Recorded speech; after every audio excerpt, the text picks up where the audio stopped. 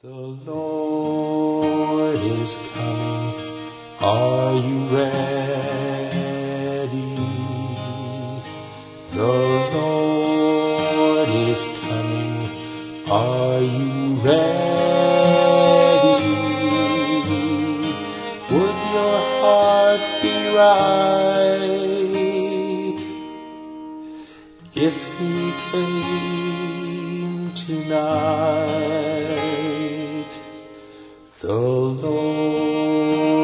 Is coming. Are you ready?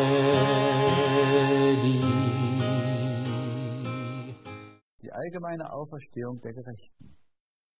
Aber deine Toten werden leben, deine Leichname werden auferstehen. Der König der Könige kommt auf der Wolke herab, in flammendes Feuer eingehüllt. Die Himmel werden wie eine Buchrolle zusammengerollt.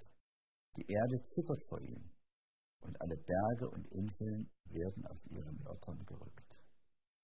Mitten im Taumeln der Erde im Aufflammen der Blitze und im Rollen des Donners ruft die Stimme des Gottessohnes die schlafenden Heiligen heraus.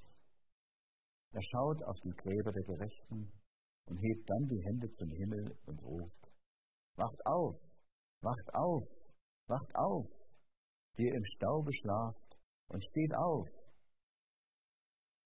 Auf der ganzen Erde werden die Toten diese Stimme vernehmen.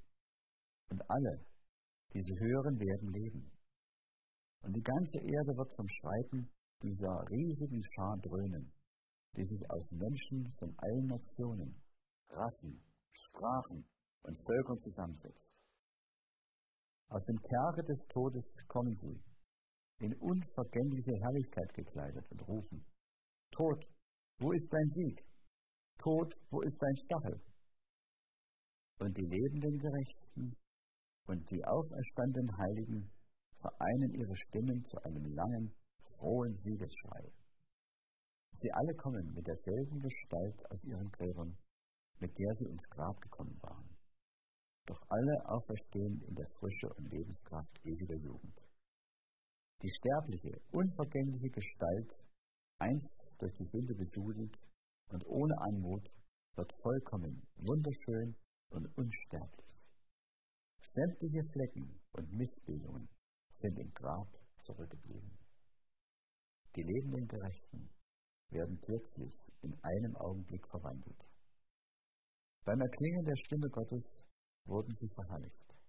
Nun werden sie unsterblich gemacht und mit den auferstandenen Heiligen aufgenommen, um ihrem Herrn in der Luft zu begegnen. Engel versammeln seine Auserwählten von den vier Winden, vom Ende der Erde bis zum Ende des Himmels sobald die kleinen Säuglinge unsterblich aus ihren staubigen Betten herauskommen, fliegen sie in die Arme ihrer Mütter. Freunde, die durch den Tod lange voneinander getrennt waren, sind jetzt wieder beieinander, um nie wieder Abschied zu nehmen. Frohen Liedern steigen sie gemeinsam zur Stadt Gottes auf. The Lord is coming. Are you ready?